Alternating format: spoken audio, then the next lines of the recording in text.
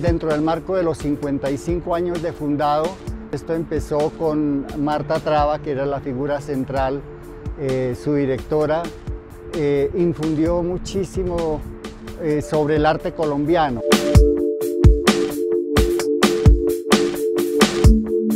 Cuando se inauguró el edificio completo en diciembre de 1985, se hizo con la exposición 100 años de arte colombiano. Fue magnífica. Hay un libro que el museo eh, publicó. En esta sede eh, vino una selección de eh, dibujos maestros de los siglos XV al XVIII de la colección del Hermitage. Por acá pasaron Rembrandt, Tiepolo, Durero, entre otros. Estuvo acá la Sui Volar, la colección completa de Pablo Picasso. Tuvimos a, Goya con sus series de grabados.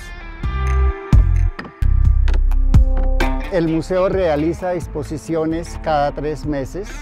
Eh, justamente acaba de finalizar El arte de la desobediencia, que fue una selección de obras dentro del marco de la colección desde 1965 hasta 1984.